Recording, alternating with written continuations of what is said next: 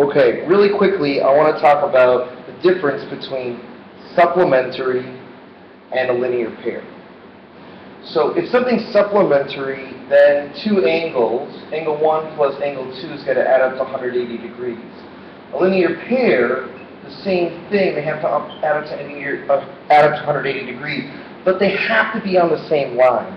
So let's take a look at an example here.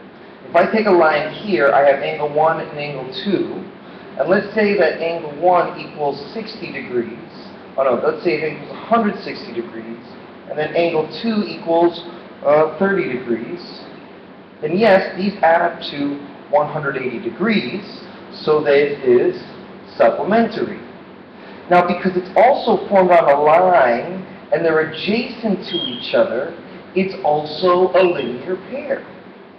Now let's take a look at another example where we have two angles that are not on a line and they're separated in different areas. If this is, let's say it's 60 degrees, this one's going to have to be 120 degrees.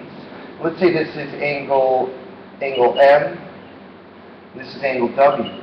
Well, angle M plus angle W does equal 180 degrees, but it's not a linear pair, but it is supplementary.